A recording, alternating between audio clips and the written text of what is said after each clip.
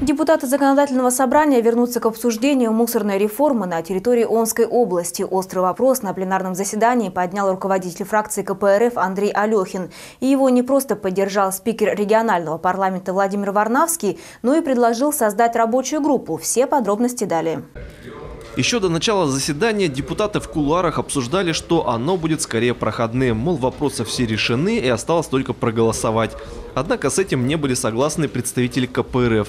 Константин Ткачев выступил с комментарием по поводу внесения изменений в закон Омской области о пожарной безопасности. Эту тему мы поднимали неоднократно. Предложение начальника Главного управления региональной безопасности Геннадия Привалова формально связано с тем, чтобы привести региональный закон в соответствии с федеральным, в котором полномочия переходят от губернатора к Главному управлению региональной безопасности Омской области. Мы обсуждаем этот проект закона. Там ничего не изменилось, кроме одного, передачи полномочий от губернатора его подразделению, которому он доверяет. Вот и все. Казалось бы, какая разница, кто будет управлять, но за этим стоит гораздо больше, чем формальный подход. Сельские пожарные посты, которые находятся под контролем правительства региона, могут пройти очередную оптимизацию. Представители профсоюза, созданного в прошлом году, опасаются, что сотрудников ждет сокращение. 15 лет мы на это не обращали никакого внимания. Соответственно, не было никаких проблем, сложностей или потребностей. Люди прекрасно знали, что губернатор лично выступает гарантом защиты, выступает, если хотите, э, гарантом противопожарного спокойствия.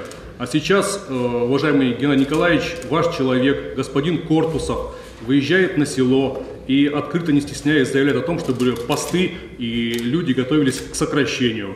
Сам Геннадий Привалов не стал давать комментарии по этой теме, но проблема была озвучена в присутствии губернатора Александра Буркова и всех депутатов парламента. А значит, любое сокращение сельских пожарных постов получит огласку и закончится скандалом. Этот вопрос мы не снимаем с повестки дня. Понятно, что большинством единороссов он принят уже, к сожалению.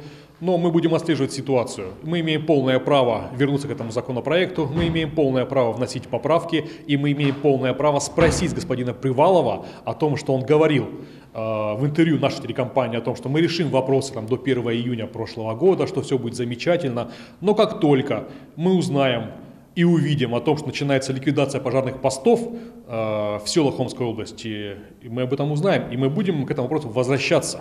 В завершении заседания слово взял руководитель фракции КПРФ в законодательном собрании Андрей Алехин. Он поднял одну из самых острых проблем, которая волнует абсолютно всех омичей – мусорная реформа. Второй секретарь обкома призвал депутатов и правительство обратить внимание на сложившуюся ситуацию. Никто не понимает, сколько будут платить омичи за вывоз мусора, где он будет складироваться, а главное, что из себя представляет региональный оператор, который выиграл конкурс. Спикер регионального парламента поддержал Алехина и предложил снова создать рабочую группу, в которую войдут представители всех фракций. Фактически возвращаемся к исходной ситуации. По новой рабочей группе, что очень важно. И там попытаемся те вопросы, те проблемы, которые на сегодня. Понятно, что от мусорной реформы мы не уйдем. Рано или поздно они все равно это сделают, и будет это дороже, чем сейчас. Но мы постараемся минимизировать все это дело. Чему приведет новое обсуждение депутатов регионального парламента по этой теме, неизвестно. Вопрос настолько болезненный, что разбираться в нем придется еще очень долго. В конце концов, региональная энергетическая комиссия до сих пор не приняла тариф. Но одно понятно точно – а мечам нужно готовиться к новой графе расходов. Максим Кабаненко, Александр Филиппов, Обком ТВ.